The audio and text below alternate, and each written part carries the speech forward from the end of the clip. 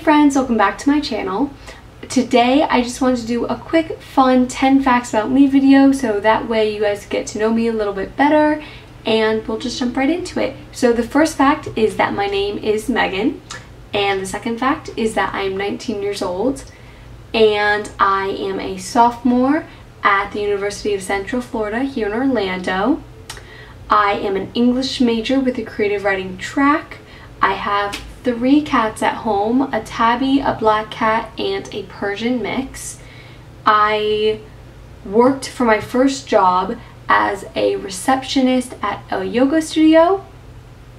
I come from a long line of entrepreneurs and you can see a little bit of that in the interview I did with my dad about entrepreneurship. I am the middle child of three. I have an older brother and a younger sister.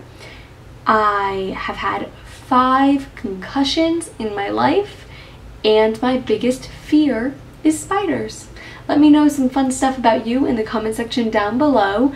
I will see you guys in my next video on Wednesday. Bye!